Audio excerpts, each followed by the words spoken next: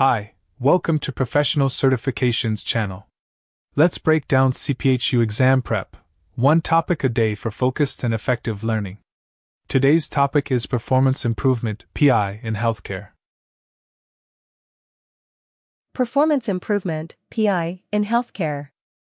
Introduction In an ever evolving healthcare landscape, performance improvement PI plays a crucial role in ensuring that care providers and organizations deliver the best possible outcomes for their patients. It's a systematic approach that, when properly executed, can greatly enhance the quality of care and operational efficiency.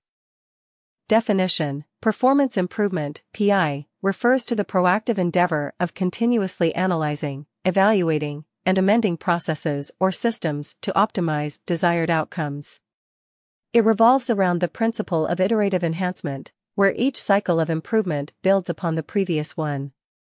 Scope in healthcare PI isn't limited to just clinical outcomes, it extends to all facets of healthcare, be it administrative, technological, or operational. 1. Clinical processes. This might include reducing hospital acquired infections, improving surgical outcomes, or decreasing patient wait times for critical treatments.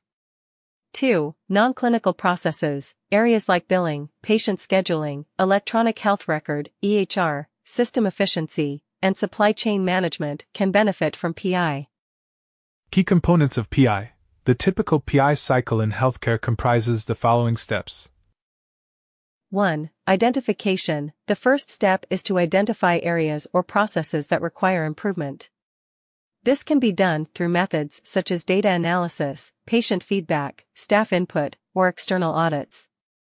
2. Setting goals. Once a challenge is identified, specific, measurable, achievable, relevant, and time-bound, SMART, goals should be set. For instance, if a hospital identifies high readmission rates for heart failure patients, a goal might be to reduce readmissions by 10% over the next six months. 3. Implementation. This involves putting into action interventions designed to meet the set goals.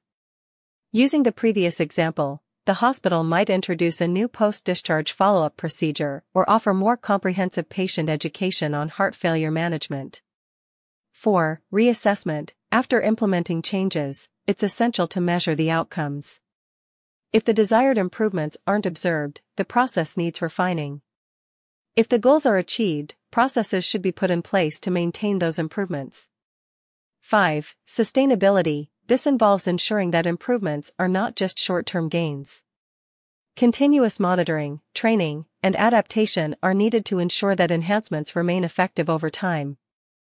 Benefits in healthcare 1. Enhanced patient outcomes. At its core, PI aims to provide better patient care. Improved processes can lead to quicker recoveries, fewer complications, and better overall patient experiences. 2. Operational efficiency. Streamlined processes can lead to cost savings, reduced waste, and better utilization of resources. 3. Increased staff satisfaction. When processes are optimized, healthcare staff often find their jobs more rewarding and less stressful. 4. Regulatory compliance. Many regulatory bodies require continuous PI as a part of accreditation.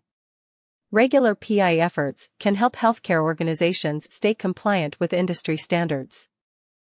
Conclusion Performance improvement is pivotal in healthcare, where the stakes are high and the margin for error is small.